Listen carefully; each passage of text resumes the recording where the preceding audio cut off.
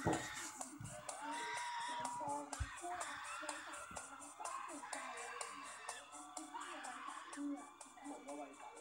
สดีครับ ผมเจเจกฤษณภูมิครับ สวัสดีครับ ผมแจ็คกี้จักรินครับผม สวัสดีครับ ผมเติร์ดลภัสครับ ครับพวกเราก็เป็นตัวแทนจากอ่าซีรีส์เรื่อง Great Men Academy นะครับผมก็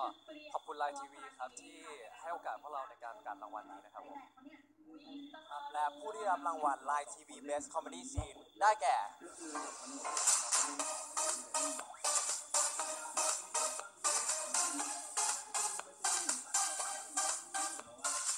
ละครเรื่องบุพเพสันนิวาสฉากคุยกับพี่หมื่นเรื่องแค่นี้ทำไมตาหมื่นต้องมาขัดด้วยครับผม